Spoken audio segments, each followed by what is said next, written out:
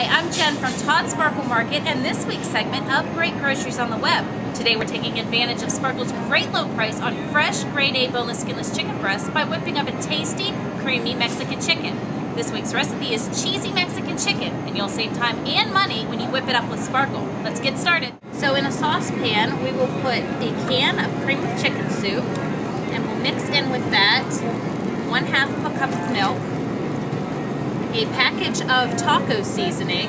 I use the original kind, but you can use any kind you want. And we'll mix that all together. And when that gets heated up, we are going to add one and a half cups of shredded cheddar cheese, which I'm going to do right now. We'll reserve the rest of that for later. You want to cook this up until the cheese melts and it's nice and creamy.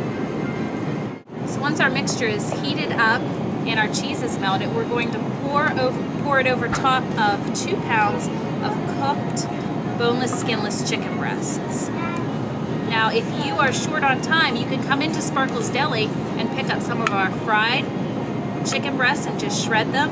I use some thigh meat in here too.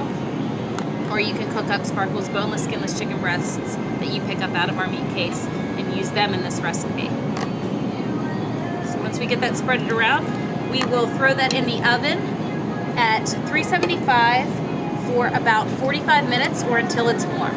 But before you do that, make sure you top off your dish with some salty tortilla chips to really give it some extra flavor.